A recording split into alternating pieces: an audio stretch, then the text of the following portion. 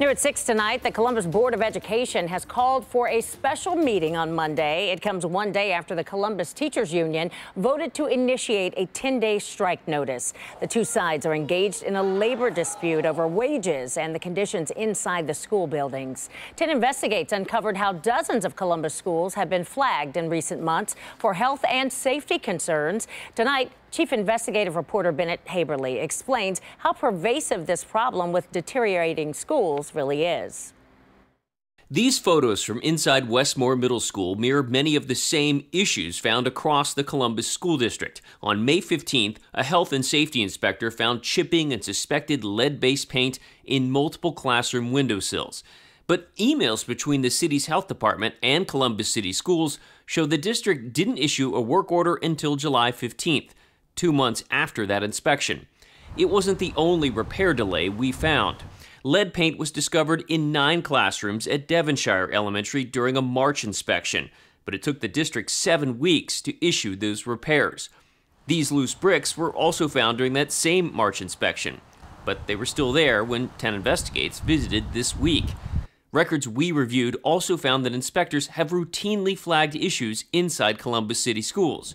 We wanted to know why this is a recurring problem, so we took our questions to the district, but they would only agree to do an interview after we showed up at Tuesday night's board meeting. But in your view, what, how quickly should something like that be addressed? Well, as soon as practical, because sometimes we have to set out bids for that work. Sometimes we have people who are already, you know, on a, a purchase order. It just depends on the situation and the extent of it.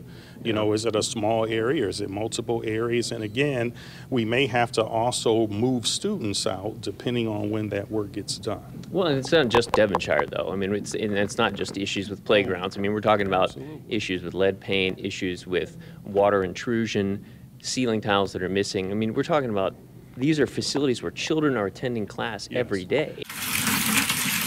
The conditions inside Columbus City schools have become a focal point in the now public fight between the teachers union and the district. We shared some of the images with Maria Lehman. She's the president of the American Society of Civil Engineers. I would love to tell you that this is uh, this is unique, but it's not. This is a systemic problem. I think you could find examples like this around the country.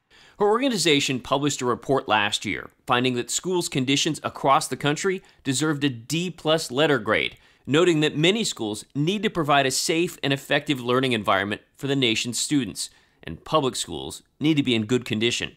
The report also found that more than half of public schools needed to spend money on repairs, renovations, and modernizations to bring the infrastructure into good condition.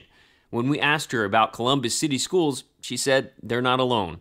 I, am not shocked, and I can imagine that most major city school districts have buildings that look like that. And I would love to say that that's not the case, uh, but I know from from my 40 years in the business that I've seen that. It's not um, it's not a one-off.